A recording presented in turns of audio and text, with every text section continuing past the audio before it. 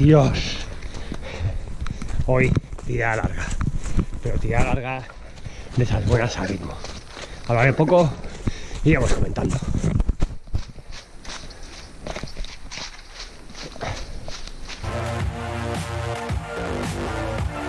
Bueno, la tira larga ya sabéis que nos encanta. Nos pasamos toda la semana pensando en qué recorrido vamos a hacer, qué material vamos a llevar y como siempre este deberá adecuarse a las condiciones de carreras que vamos a vivir, ya sabéis tíos, o sea, si vamos a correr una carrera muy pistera pues hay que hacer la tirada larga en zonas de correr, eh, si es técnica en zonas técnicas, desniveles, estudiarlo y luego mucho es también pues eso, el material. Cuando hablamos del material, pues a mí me gusta entrenar normalmente con el material que voy a usar en carrera, ¿por qué no? Aunque lo machaquemos, así habrá una razón más para comprar material nuevo. En este caso concreto nos estamos preparando EcoTrail de París, 80 kilómetros, 1500 de desnivel, con lo cual nos va a tocar correr mucho, mucho, mucho. Y he elegido unas zonas de entrenamiento pues con senderos, bueno, a veces un poco técnicos, pero nada, es nada para asustar. Lo normal es que sean muy corribles, rápidos, donde tengamos que llevar un ritmo sostenido y para ello primero haremos una carrera de 50 kilómetros, Montnegre, La Half, 48 kilómetros y 1600 positivos un poquito más dura, pero bueno, bastante corrible y como test. Entonces aquí nos veis entrenando tiradas de hasta 3 horas, esta en concreto son una tirada de 2 horas 50 que hice y 31 kilómetros, o sea que ya veis que se puede sacar una media un poco elegante, senderos sencillos en su mayoría, pistas anchas y donde tienes que llevar un ritmo intenso. A veces pensamos, no, las ultras Claro, no puedes correr tan rápido como un 10K, es cierto, no puedes correr tan rápido como un 10K, ojo, ojo, con una buena gasolina, una buena alimentación, sí que se puede correr de forma medianamente intensa. Yo creo que se puede correr un 80%, lo vamos a intentar. Eh, bueno, ya os digo, o sea, en, en estas tiradas lo más importante es no quedarte en solo eso de que como es una tirada larga voy a ir despacio. No, no, no, no, no. Trabaja la intensidad.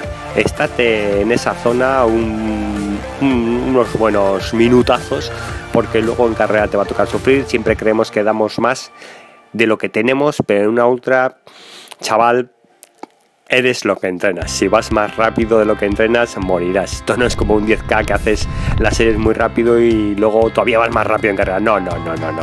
En las ultras no puedes ir más rápido de lo que entrenas. Entonces, pues si queremos correr semi rápidos, pues tendremos que entrenar semi rápidos. Luego ya haremos el descanso y todo eso entre semana más suave, eh, hacer muy bien la recuperación. Pero ya veis, eh, como me encanta correr por mis zonas. Esta es una, una zona bastante caliza, una montaña que da al mar, donde tenemos unos senderos pues bueno, que son agradables para correr. Aunque tengamos alguna roquilla, ¿eh? me gusta más eh, expandirme por ahí, porque queda chulo.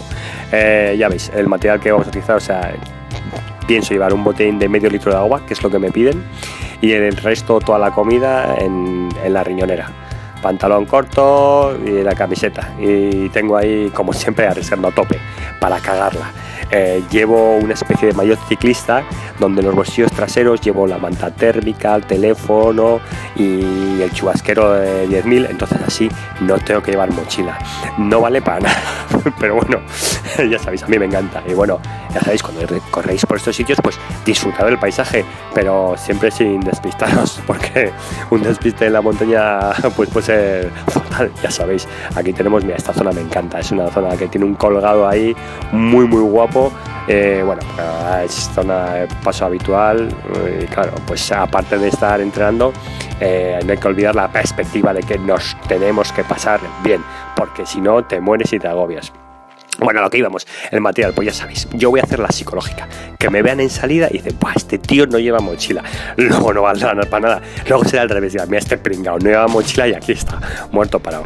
Eh, ahí veis unas zapatillas nuevas, son las, las Nike, eh, las Pegasus de Trail, que me han molado un mogollón. O sea, para terrenos no técnicos, con poquito taco, pero súper rápidas súper rápidas. Son luego, ya sabéis que hay transiciones al asfalto y cuando tocas asfalto, pues a mí por eso siempre me gusta acabar, acabar el entreno con unos kilómetros de asfalto para echar el pulmón. Y al llegar a casa, ya sabéis, estirar y alimentaros bien. Hola tíos, adiós.